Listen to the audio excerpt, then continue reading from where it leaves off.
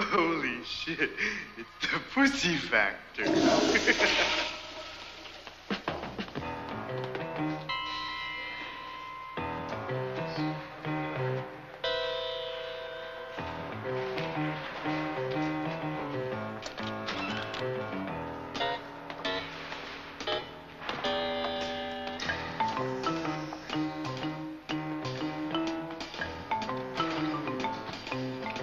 Excuse me, Purity. Howie Bates, what are you up to now? Oh, nothing. This needs a bit of adjusting, that's all.